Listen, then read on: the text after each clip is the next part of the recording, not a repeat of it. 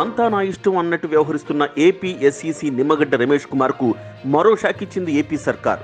నిమ్మగడ్డ ఆదేశించినంత మాత్రాన పరిపాలనా శాఖ ముఖ్య కార్యదర్శి ప్రవీణ్ ప్రకాష్ను బదిలీ చేయటం కుదరదని స్పష్టం చేసింది. అఖిల భారత సర్వీస్ అధికారిపై నేరుగా చర్యలు తీసుకునే అధికారం ఎస్ఈసికి లేదని ప్రభుత్వం స్పష్టం చేసింది. ఈ మేరకు సిఎస్ ఆదిత్యనాథ్ దాస్ ఎస్ఈసికి లేఖ రాశారు. ప్రవీణ్ ప్రకాష్ మీద నిమ్మగడ్డ చేసిన ఆరోపణలు నిరాధారమని స్పష్టం చేశారు. ఆయనపై చర్యలు తీసుకోవాలనే విషయాన్ని పునఃపరిశీలించాలని విజ్ఞప్తి చేశారు.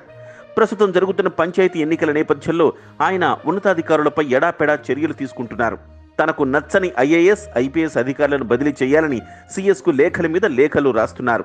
మంత్రులు ఎంపీలు ఇతర నాయకుల మీద యాక్షన్ తీసుకోవాలని ఏకంగా గవర్నర్కే లేఖ రాసి కలకలం సృష్టించారు. తనకున్న విశేషమైన అధికారాలతో ప్రభుత్వాన్ని ముప్పుతిప్పులు పెట్టేందుకు అన్ని అవకాశాలను వినియోగించుకుంటున్నారు.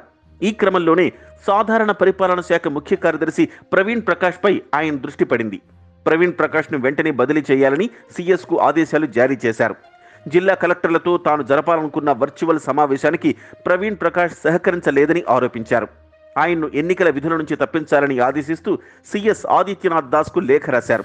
జీఏడీకి అధిపతిగా ఉండి కూడా కలెక్టర్లు ఉన్నతాధికారులతో వీడియో కాన్ఫరెన్స్ జరపకుండా చేశారని లేఖలో ప్రస్తావించారు. అందుకే ఎన్నికల షెడ్యూల్ వాయిదా వేయాల్సి వచ్చిందని ఈ నెల ఇరవై ఐదున నామినేషన్ల స్వీకరణకు కూడా సహకరించలేదని అన్నారు నిమ్మగడ్డ. అయితే రాష్ట్ర ఎన్నికల కమిషన్ జారీ చేసిన ఆదేశాలను రాష్ట్ర ప్రభుత్వం తిరస్కరించింది.